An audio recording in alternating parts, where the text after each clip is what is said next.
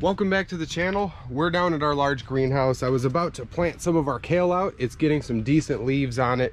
We've got a lot going on in here. This was our old solar heater box. This is what's left of it after I had recycled material to build a solar water heater. Now my idea for this solar water heater actually came while I was putting my Jean Pain composting system together. I was basically just rigging all of this together and kind of figuring out what I was gonna do and getting my pump and battery and everything situated to run my solar powered water pump to push all the water through my compost. So I had this idea right as I was building this and I had all of this material in my garage. So I had a little bit of copper tubing. I don't know if that might be quarter inch copper tubing but it is absolutely black. You can barely even see it. It's coiled up in there. I got about five feet of copper tubing and we're draining water out the bottom here.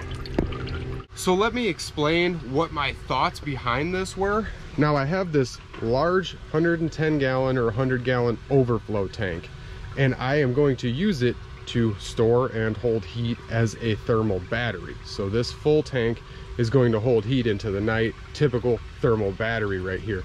So one way i wanted to build upon that i have my small super small pump there and a i don't know maybe 8 to 10 inch solar panel by about six inches maybe which does not draw a lot of energy but that is free energy anyway so as soon as this gets a little bit of light on it this will be running water from the bottom or midway through our tank where the water's definitely going to be colder and we will bring that up with our pump through this little tiny fish tank hosing here and it runs right up in the top of our box. I just put a little bit of tape around the hose to get a nice seal on it so it's pretty well tight and we've got that five feet of copper tubing running down to the bottom and this box is already holding about 95 degrees in there and I just put this together about half an hour ago. The temperature of our greenhouse is about 78 degrees right now. I've got my door open so the temp is actually dropping because we're only about 45 degrees outside today.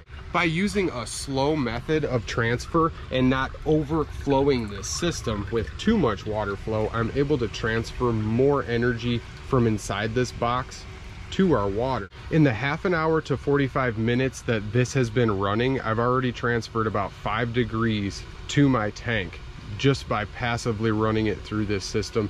That's just my calculations. I took some temps before I set this box up and then I took some temps afterward. I was between 64 and 65 up to 69 now. So I really want to see what kind of results this will give me because this is a promising experiment and I will continue to use this especially next winter because this is nice and enclosed and I'm using such a small system, such a small pump. I'm not using a whole lot of energy to achieve a lot of energy. I'll be able to hold all this heat in my greenhouse and radiate it out and I will couple it with my compost heating system. So I'll have two systems paired together that will passively and actively heat the water and push it through my greenhouse and push it through the greenhouse floor in order to give some more insulation and some warmth to the floor of my greenhouse. A lot of the plants are looking pretty good now that we've got some water and a little bit warmer temperatures some purple tatsoi, some garlic. I gotta get all these kale planted. One more thing before I let everybody go, I just put that video up